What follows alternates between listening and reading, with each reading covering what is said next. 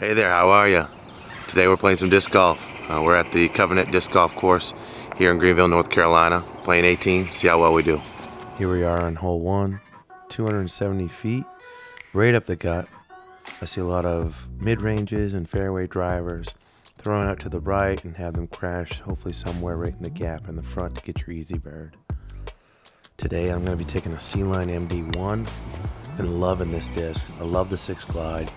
Love putting it on a hyzer, having it flip up, which uh, I would love to have doing this shot, but it doesn't, and I am short about 30 feet. And I have an obstructed putt. Not the greatest, Laura. Got this tree right in front of me. Try not to think about it. It's not there. It's not there. It doesn't exist. Smack it right, right head on. Get my par, move on. Hole 2 is just 178 feet, but look at what you got to navigate through. The up the gut route is very tight, as you can see. I had a trouble not hitting the tree with my drone on this footage.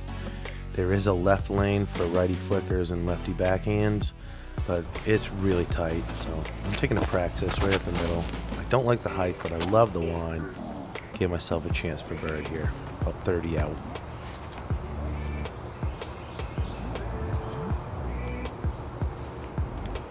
Just switched to Discraft Lunas, and I'm absolutely loving uh, the 3303 flight numbers on them. Um, really give me a lot of confidence in my putting.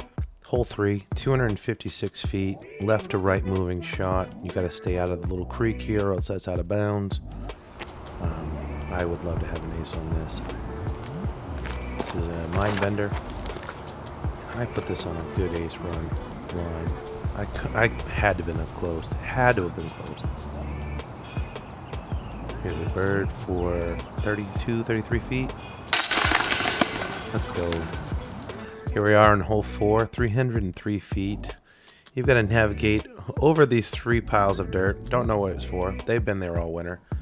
And you've got to hit this gap with a left to right moving shot so you can avoid the guardian trees to the left of the basket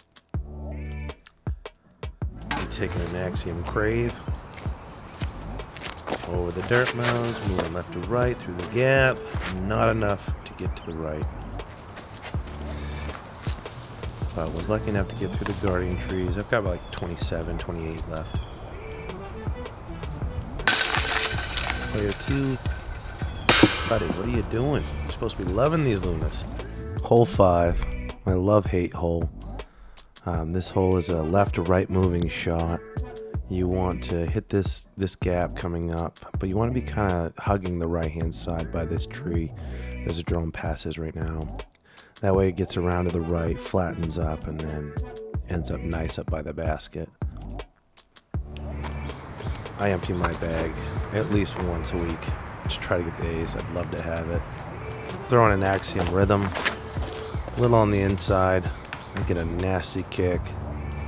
It's not too bad. It's just before the thickets and the, the deep brush. Nice easy proxy upshot. Really happy with that. Parked.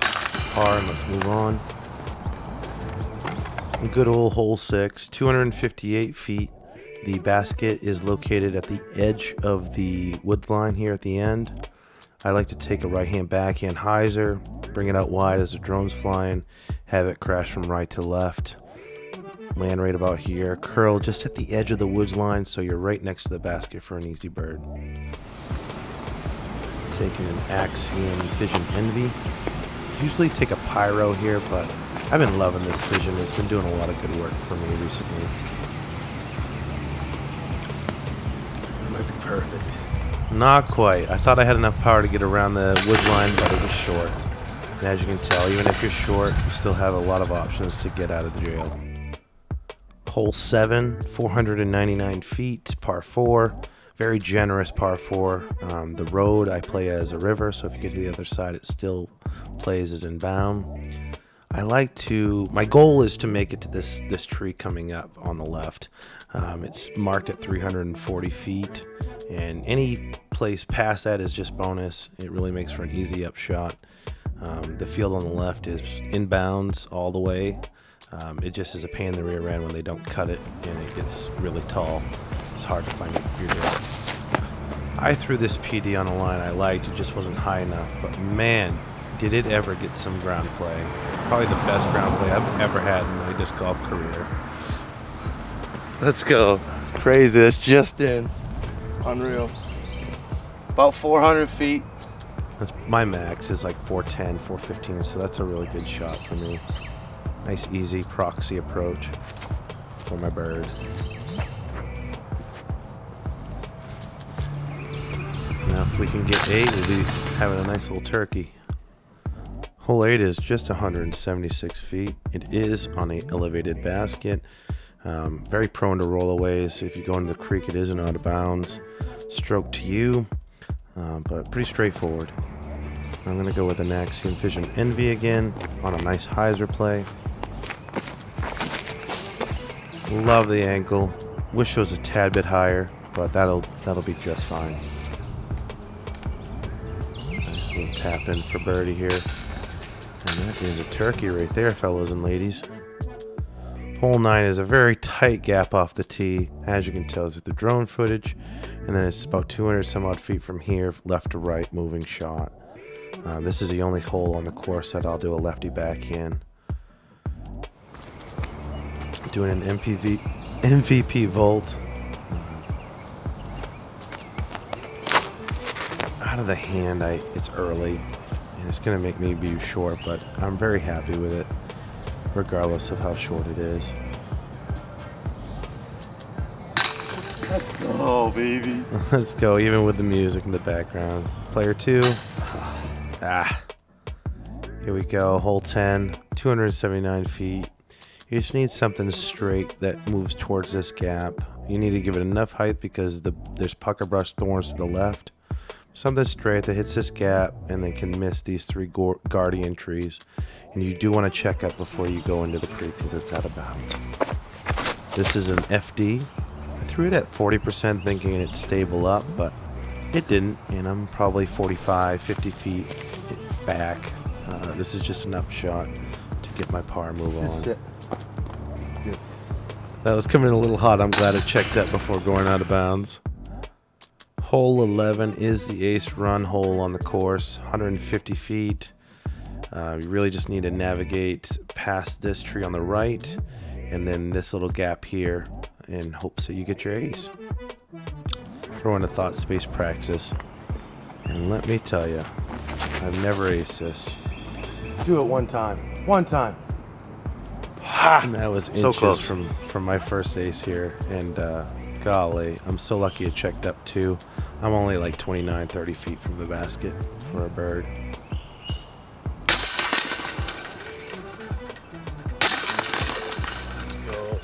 There we go. Uh, 8 through 12. Hole 12 is 258 feet. Um, it's right straight up this narrow tunnel, if you will. And then you've got to beat these, what, six or seven guardian trees to get into the green for your birdie. I'd love to have an ace on this one as well. Another thought space praxis shot. Just really trying to hit the, the tunnel. Just hit the initial gaps and don't worry about the guardians is my first thought. My next thought is that's way too low.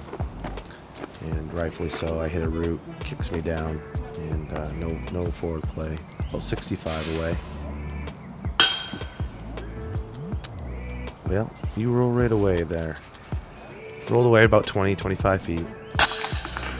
At my par. Moving on. Hole 13, 258 feet. Probably the hardest hole, or one of the hardest holes on the course. This one easily turns a birdie into a bogey just by one tree kick. Uh, but also one of my very favorite holes on the course. Taking my C-Line MD1 on this uh, right up the gut line. love this line. I have one one tree to miss, and I hit it, and it kicks right. About 45 feet away, obstructed by these little leaves. I've got to kind of readjust here. Not my head. They're not my head. Leaves don't exist. Ah, shank. Player two. That's what you're supposed to do. And there's the par. Moving on. Gotta get off this par train. Come on. 14's a good hole to get a bird. Uh, 251 feet. Uh, there's kind of two lanes. The one the drone's going on, and then there's one to the right of these trees as the drone passes. I tend to like to go to the one to the right just because if I fade out early, I could easily go in the creek to the left for an out of bounds stroke. So I'm taking a pyro to the right hand side of that that tree up ahead. Love the line. Height not so much. And I hit a tree. Probably like 50 feet out.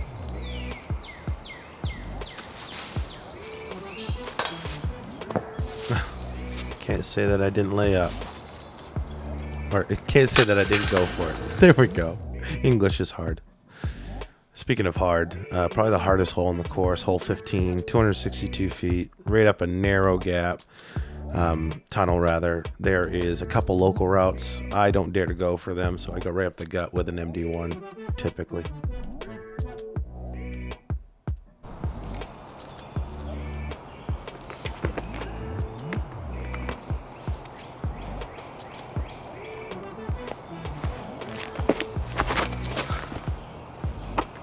Thought this was going to hyzer. I thought it was going to go in. If it didn't hit that tree, I think I had a really good chance. Probably like 28, 29 feet away. Need this bird. I shake it. Dirty. Uh, the uh, par train continues. Hole 16's a, a favorite of mine. 247 feet. Small left to right moving hole. Um, really don't want to kick off the fairway. It's very hairy on both sides. Um, so just try to keep in the fairway for an easy bird. Taking a uh, Cosmic Electron Proxy. Absolutely loved it out of the hand, loved the height, loved the speed. Got a nice ground play. Put me within 15 20 feet for the bird. Oh, even a player three. Let's go. Hole 17, 340 feet. Um, love taking uh, something flat to stable over the creek and have it land up by the basket. Um, I also like to take something uh, very stable and hyzer over the creek and come back over.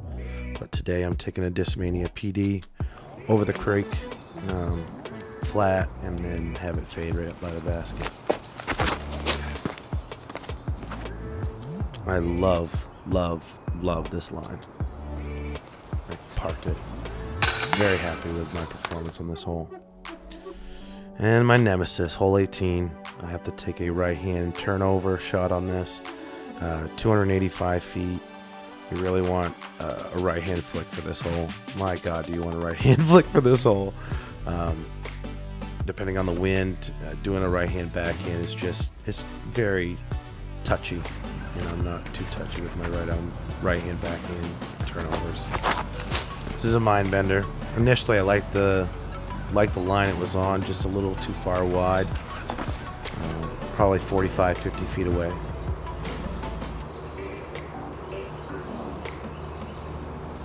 And we're gonna end this round with the par. And player two making the adjustment. And that'll wrap it up didn't shoot the negative 12 down, but we almost got there. Uh, negative 10, clean round, bogey free. Played really well. I'm happy with my play. I'm happy where my where my play is at. My putting is a lot more consistent after switching to the Discraft Lunas. Um, loving how they feel out of the hand. Loving the three fade on there for my hyzer putting.